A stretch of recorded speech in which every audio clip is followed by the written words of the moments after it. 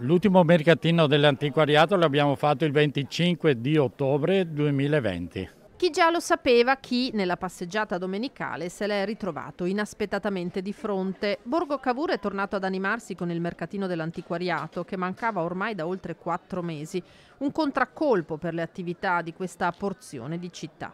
Tutta la zona è stata un po', un po' diciamo, depressa proprio da questi, da questi mercatini mancanti durante novembre e tutti i mercatini di Natale che di dicembre.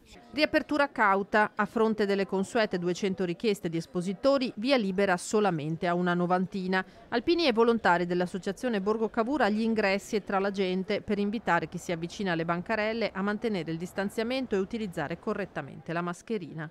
Non vediamo particolari problemi. Le persone che stanno sorvegliando la zona lo stanno facendo molto bene e da questa mattina non abbiamo mai visto aggregazioni fuori dai limiti. Si voleva finalmente questo ritorno? Sì, sì, speriamo che aprano anche tutti gli altri mercati e manifestazioni, sempre in sicurezza. Era ora, se aveva voglia di tornare a farlo. Soddisfatti anche i baristi. E voi tornate col vostro menù tradizionale? Certo. Che sarebbe? Come sempre, pasta e fagioli, tripe, panini con porchetta e birra artigianale.